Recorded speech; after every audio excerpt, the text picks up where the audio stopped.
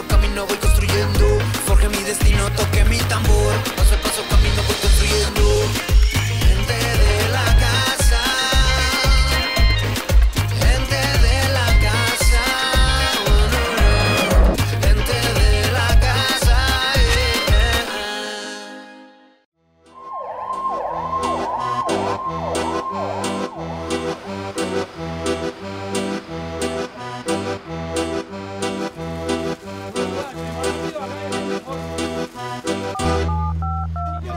altas temperaturas.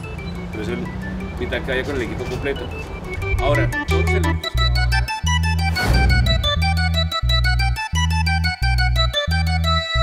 de la máquina también tiene que hacer tres puntos de apoyo. Eh, inicié como bombero 1, bombero 2, cabo, sargento, teniente. Dentro de las funciones, aparte de la misionalidad que es salvar vidas, proteger el medio ambiente, tardes, ¿cómo está usted? Bien, sí, señor. ¿Cómo le ha ido? Bienvenido aquí a, a esta práctica. Trabajar con pasión hace de la vida una alegría cotidiana. Eso hace Neil Cárdenas y lo contagia.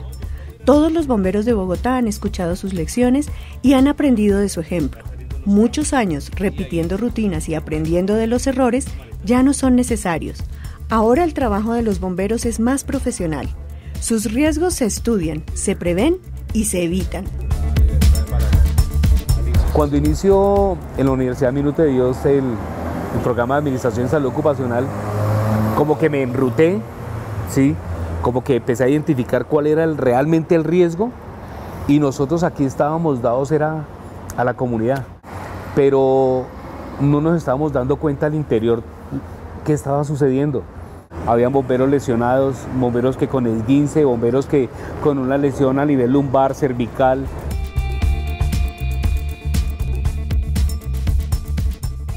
Lo que más me llama la atención es que la carrera como tal de salud ocupacional tiene muy concatenados lo que son todas las materias, lo que son todos los semestres, mirando todos los tipos de riesgos que hay, porque nosotros los encerramos simplemente en que eran los riesgos de incendio o riesgos de estructuras colapsadas o riesgos por atención de materiales peligrosos.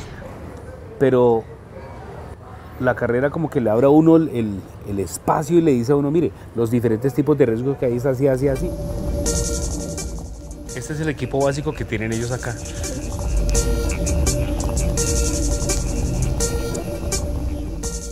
Su nombre es como un santo y seña para los profesionales que salvan y rescatan vidas. Neil lleva en su pecho la insignia de instructor con más responsabilidad que orgullo. Sus profesores recuerdan su paso por esta casa y él nunca los olvida. Aquí nadie pasa sin que le pase nada. Una parte del maestro se queda en el estudiante y viceversa. Profesor Wilson, excelente, una persona con una calidad humana increíble. Bueno, como todos, la mayoría, todos, todos, todos, sin descartar ninguno.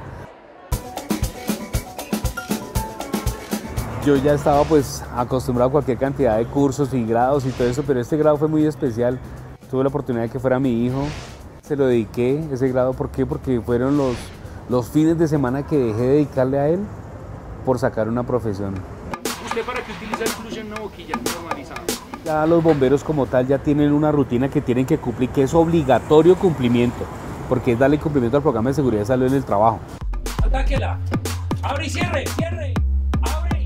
Con él hemos tenido la oportunidad de hacer movilizaciones nacionales, rescates internacionales. Yo a Neil aproximadamente hace 17 años lo conozco y con él tengo dos facetas importantes. Una, que es la personal, porque compartimos muchos de los gustos en cuanto a seguridad y salud en el trabajo se, se componen. Ustedes pueden hoy en día entrevistar a un bombero recién salido de escuela, recién salido de academia y preguntarle qué aprendió. Es un bombero que llega con una cantidad de conocimientos y es una persona que tiene, antes de salir a atender una emergencia, es el autocuidado, es valorarse uno mismo, es saber que usted salió de su casa y tiene que regresar mañana. Entonces, porfa, y para. Ha rescatado víctimas de accidentes, incendios, terremotos e inundaciones. Ha trabajado con la tecnología más moderna luego de recorrer todas las existentes en los últimos 30 años. Sus aportes se miden en vida y en alegría, pero hay amenazas ante las cuales es imposible combatir. La posibilidad de que una institución como los bomberos de Bogotá sea desmantelada debe preocupar no solo a sus miembros, sino a toda la sociedad. Dice el himno de nosotros, yo soy el novio leal de la muerte, por un pacto de estrecha amistad. Miedo a la muerte no le tengo. Le tengo miedo sería a que se llegara a acabar esa institución. Ese sería el miedo. Porque hoy en día lo que es la parte política está metida en todo, está privatizando. Ese sería el miedo. Que llegara a acabarse una institución por la que uno dio media vida. Sí.